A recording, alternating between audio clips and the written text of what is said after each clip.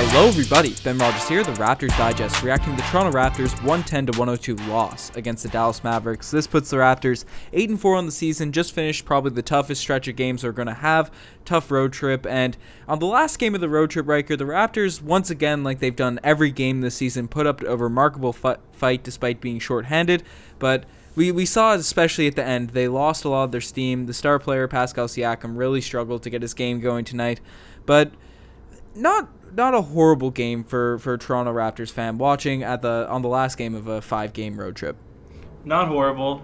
The third quarter maybe you could consider yeah. horrible, and then but the like you said the the Raptors managed to scrape back, grit and grind mm. until it was a two point game with two minutes yep. left, and then Luka Doncic being the well, he's not an all star yet, but being the the superstar player he's developing into, took control he's of the game. He's a superstar now. He's I would, remarkable he had one play behind the back. He was getting doubled, mm-hmm. and he slipped. He slipped through a double team with a behind the back move, got tripped, and then still made the pass to Finney Smith or what? Finney, Finn. Yeah, Finney Smith, I believe. Finney Smith still Dorian made the pass. Finney Smith. Dorian Finney Smith. So still got that pass off after getting tripped. Just he's a magical looking player. The Raptors. They had success in their defensive sets against the previous teams to slow down the number one guy. Tonight, they didn't seem to have an answer for Luka Doncic and the, the Dallas Mavericks. Yeah, we'll, we'll talk about the defensive scheme a bit and what what our thoughts are on that. But just want to give a shout out to Luka Doncic because this is the the first full game I've watched of him this season. But 29 points, 10 rebounds, nine assists. He's averaging on the year that that's remarkable for a second year player. So he's he's a tough guy to st- stop regardless. But our superstar, or our guy that we're we're hoping blossoms into a superstar, Pascal Siakam, been remarkable this season. But tonight only 15 points on six of 24 shooting, two of 10 from the three point line, seven assists, which is solid, but five turnovers. Uh, Ryker. I've been harping on this every kind of loss that we've had this season. Pascal Siakam, in our all of our wins, he's closing games, he puts up big points, big numbers, and he shows glimpses of that he has the intangibles to be a superstar player. He's like a little in his infancy of becoming a superstar. But the thing that's kind of the reason I wouldn't declare him that as as that label right now is because in games like this, when the Raptors' offense is stagnated, when we're you know because we have great players on this team. Fred van vanvleet norman powell we'll talk about how well they played tonight. And you know og uh, different players have stepped up all year. But when the offense stagnates and we saw this from Kawhi last season the superstar of the team is there to get timely buckets. And Kyle Lowry's never a superstar because of just he didn't have the intangibles, the talent, but he always gave timely buckets for the Toronto Raptors. And if Pascal Siakam can do that on a consistent basis, I think he'll be, you know, we'd win games like this even when we're struggling, you know, putting the ball in the hoop. So, what did you see from Pascal Siakam tonight? Because he was getting the good shots, he was getting making the right plays, in my opinion, but unfortunately they just weren't going down. Well, my I had a bit of a viewing party this evening. My roommate said mm. felt like after the second half, so when they did the switch, uh, switch sides, it seemed like there was a curse or a hex on the on the on the rim. All the three point shots were clunking out hard. There was a really hard mm-hmm. echo on the rim as well, at least on the, the TSN stream that I was listening to. But Pascal Siakam specifically, tonight was a difficult night because Dallas is big, and I didn't really give them credit for how big they are. Not necessarily amazing, fantastic defenders, but when you have Maxi Kleber and uh, Kristaps Porzingis and Powell, what I forget, Dwight Powell. Is that his Dwight Powell? Yeah, Dwight Powell. So yeah, there's a big lineup, right? And so when mm. you're relying on guys, you know, Marc Gasol has been invisible for practically this entire season. And like you said, when the offense is stagnant and you're relying on Pascal Siakam, well, he's not having a an easy time once he gets to the rim because there is such length of the Dallas Mavericks team. And I agree, there's things that he needs to do before he can take the step to be a superstar. And tonight was a bit of a test, and unfortunately, Unfortunately, he wasn't able to deliver, but it wasn't due to lack of bad or lack of good shots. Maybe too many threes, but most of them were good uh, shot yeah. attempts. I thought. Yeah, I've seen a few people trash on Siakam for taking 10 threes. Yeah, I guess if he's not going and the shots aren't going down, that's a fair critique, but I want Siakam shooting those shots. He's shown he's tremendously improved on that, and most games this season, he's been shooting those types of numbers from three, but better percentages, obviously, so no one's been complaining. I, would love for Siakam to keep playing this way, but you brought it up. The Toronto Raptors, especially with Ibaka not on, on the court, are extremely undersized going up against a matchup like the Mavericks. You brought up Kleber, Porzingis, Dwight Powell coming off the bench, but not even just those guys. We're starting, you know, a smaller Fred VanVleet, Norman Powell, and they, they have big guards as well. Seth Curry, Luka Doncic, Finney Smith. They're they're big wings. You know they don't have a small guard out there on the court. And even when they're when they're bench guys come in. Uh, Jackson, Delon Wright, we know Delon Wright's length, even Hardaway Jr.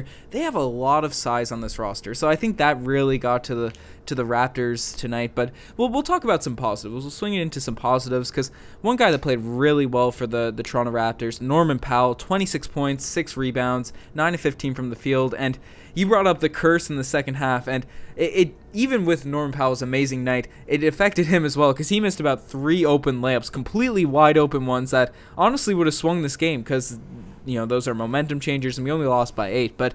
Regardless, he certainly was a guy that kept us in this game. What did you see from Norman Powell tonight? You're absolutely right. Jack made the comment when he goes when Norman Powell goes to review tonight's tape, he's going to say he should have had 32 points mm-hmm. because mm-hmm. it was yep. exactly right. Three completely missed layups. So Norman Powell played fantastic.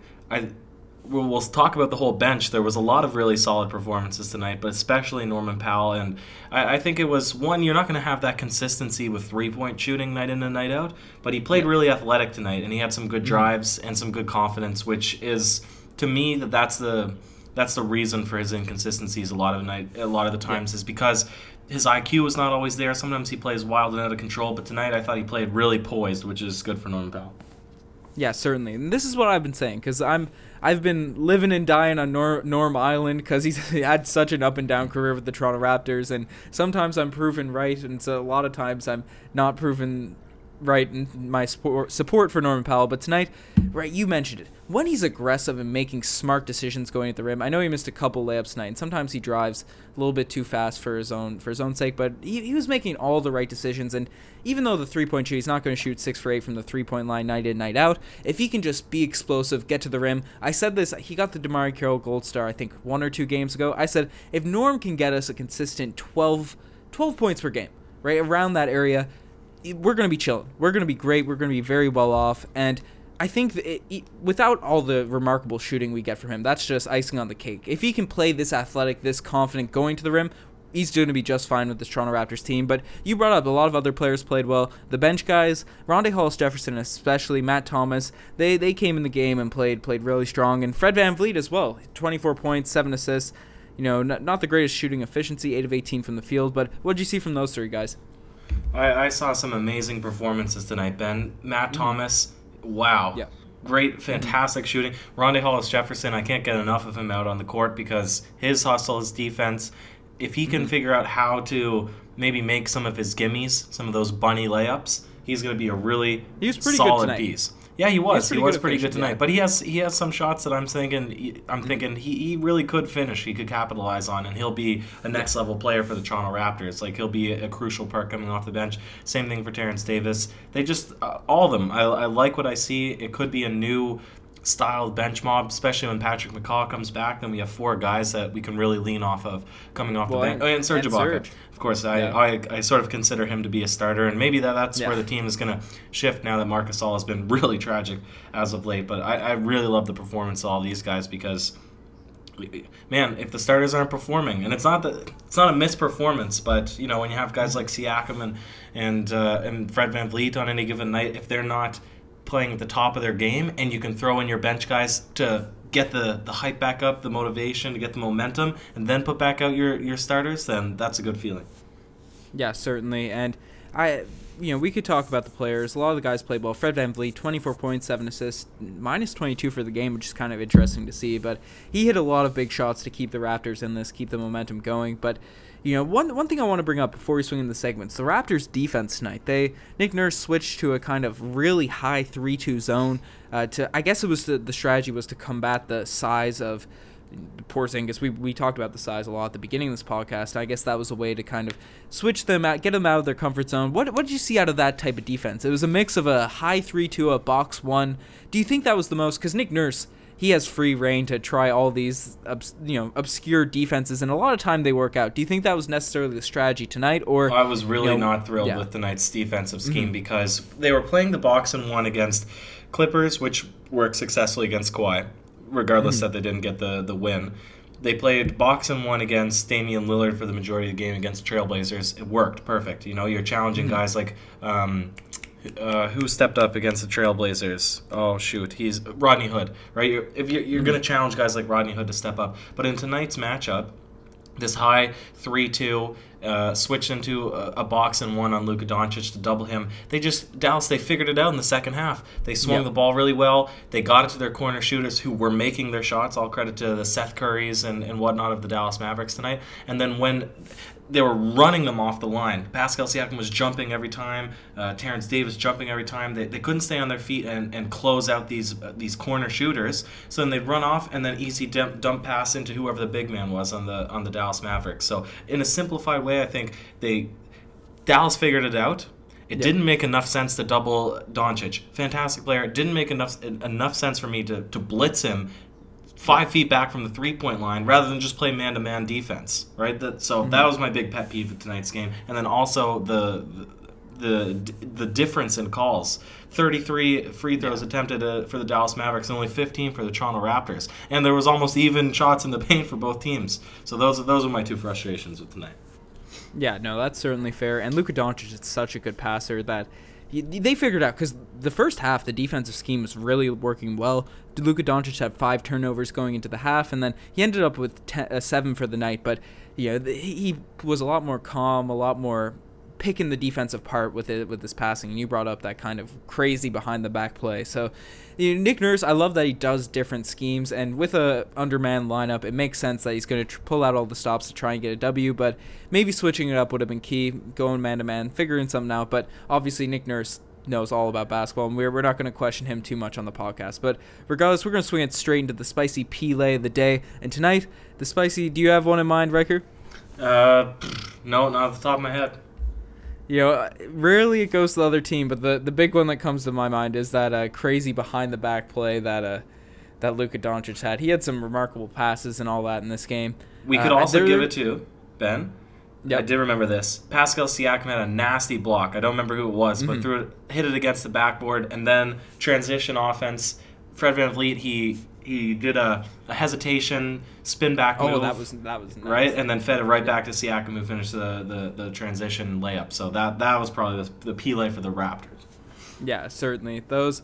You know the Raptors. They looked a bit tired tonight. Not too many highlight plays, but that was certainly a big one. But that that Luka Doncic behind the back. I, I really like this guy. I, I think he's going to be a, a, legit player in this league. But uh, not all plays can be the spicy Pele of the day. It's, I'm getting used to the new name trying to say it, but uh, some just make you say, oh, geez. And tonight, the OGs play for me, Ryker. It's going to, to Norman Powell. It's uh you know he had such an amazing game tonight, but early in this one, Fred VanVleet was in the corner and Norm tried to do one of these kind of over the head passes to him and went straight into not even the first, second, third row. That, that, that looked like a couple sections up. That almost may have hit the ceiling how high that one went. So uh. certainly made me say oh geez. Yeah, absolutely, Ben. And then the one, the only, the DeMarre Carroll Gold Star Award for worst performance of the night. One also, before I say it, shout out to Delon Wright, who played really well against his yeah.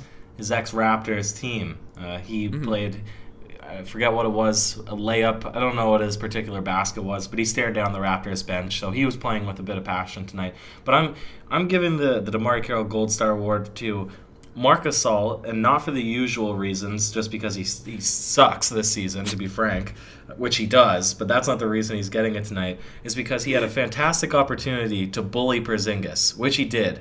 He pushed him back, right? He got good position. Yet instead of just doing a step through or a left hand layup, right? Or drawing a foul. He opted for a baby hook every time, or he'd do a fadeaway, one-handed push shot. his shot selection was absurd, and he was getting it, it, seemed like him missing shots was getting under his own skin. He should have been able to take over this event. I was so disappointed, Ben. I uh, mm-hmm. I was so disappointed in Marc Gasol tonight. Yeah, I I still love Marc Gasol's game in the fact that he still plays a lot of defense, and he's usually even when the scoring's not there, he's usually a solid passer. But it's tough to it's tough to argue with you tonight on on his performance. One of seven from the field, only six points, nine rebounds, I guess, which is okay. But for a guy that his whole career got buckets left, right, and center for the Memphis Grizzlies. You know, could finish down the lane, had had a myriad of post moves to to eat beat up defenses. With with this Toronto Raptors, especially this season, you know, because even last year when he had his few post ups, he'd be pretty crafty down low. He he still has the footwork and the kind of quick little jitteriness in the block, but then his finishing, he's yeah, as you mentioned, it's bring he's bringing up these weird baby hook shots that are, aren't coming close. It's it's really obscure. So I'm hoping Gasol gets that finishing touch that he once had back in uh back in Memphis. But uh, the final thing I want to bring up for the people that streamed this game and got to witness the halftime show of the the Dallas Mavericks. Did you see that, Ryker? No, I was watching TSN. Okay. Yeah, no, there was a there was a wild halftime show of some guys on unicycles and all that, and you know one of them had a giant unicycle he threw up, had the open dunk lined out. I guess he was on a unicycle, so I can't really roast him, but missed this open dunk. You know, he's doing his halftime show. He made a few after, but it kind it was it was a very obscure witnessing. They had a they had a few weird inter segment things in the Dallas Mavericks arena tonight, but that that halftime show it, it might be on YouTube or something. Definitely definitely check it out. Wow, yeah, I, I can't even. I'm not picturing anything as you're explaining that because it's it's out there. two guys two guys with long wavy hair riding unicycles and throwing basketballs at each other. It was it was kind of wild. It was a bit. I was planning on doing some studying, doing my in, be- in between intermissions. That's what I was doing most of the game. But the halftime, I was locked in. I was Wow. I was watching this stuff. Well, you know they say everything's bigger in Texas, right? Bigger and better. So Even the unicycle. even even the unicycling. Anyways, that, that's that's enough rambling on this podcast. You guys are the best for making this far. Check out the Twitter, the Instagram, all that cool stuff. Ryker, tough loss, but you have any last words on this one? Going back home, we'll steer the ship into the the calmer tides. Cheers. Big facts.